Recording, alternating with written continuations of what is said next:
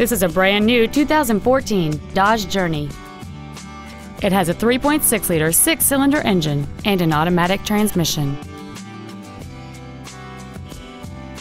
Its top features include a remote start feature, a heated steering wheel with audio controls, heated seats, speed sensitive volume controls, a multi link rear suspension, and traction control and stability control systems.